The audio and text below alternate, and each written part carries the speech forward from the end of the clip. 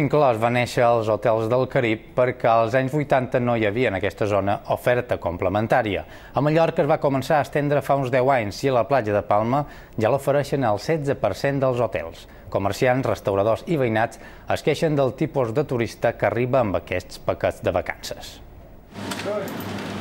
La propietària d'aquesta tenda de souvenirs de Can Pastilla fa 20 anys que es dedica al comerç turístic. Quan encara no existia l'euro, diu, els alemanys no miraven la butxaca a l'hora de comprar. Però ara, entre l'arribada de turistes amb poc poder adquisitiu i la proliferació d'establiments xinesos que venen els productes més barats, no li surten els comptes. Els restaurants es troben en la mateixa situació. Vienen y se cogen un agua, un panecillo, lo parten por medio y se comen medio panecillo seco cada uno y andando. Acá por la noche vienen solo los jóvenes que que no deixàvem una propina ni nada. Què vol dir? Que si no hi hagués tot inclòs, tota aquesta gent aniria menjant als restaurants o a les cafeteries? No, no és vera. És dir, va la gent que hi va perquè, perquè té dos bes per anar és que no en té, no hi anirà. A la platja de Palma, el 16% d'hotels ofereixen el tot inclòs. El problema és que aquest producte atreu molts de joves.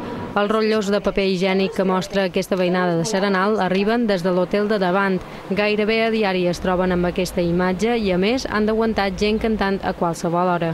de 4 de madrugada, de 5, uh, tiene megáfonos que sale todos por aquí y tenemos que escuchar.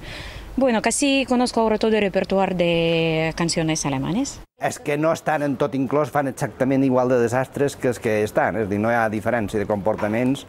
L'associació hotelera considera que el tipus de turista no canviarà mentre no es redueixi l'oferta d'oci i s'incrementin els preus.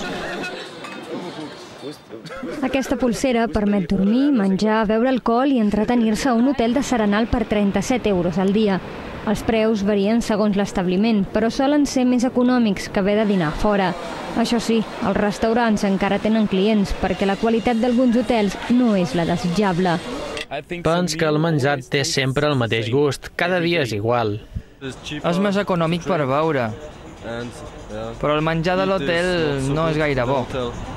Fa gairebé una dècada que els hotels mallorquins varen començar a oferir el tot inclòs. Una bona part dels turistes que reclamen aquest producte són joves. És un bon lloc, per anar de festa no és complicat. Les platges, les al·lotes i els clubs de la ciutat estan molt bé. La pulsera del tot inclòs també la duen famílies, tant estrangeres com espanyoles, perquè el surt més a compte. Pero no tots se'n tornen contents a casa. He venido este año y no volveré más. He quedado un poco decepcionado. La Brutó, el Renou i el Botellot en són els motius.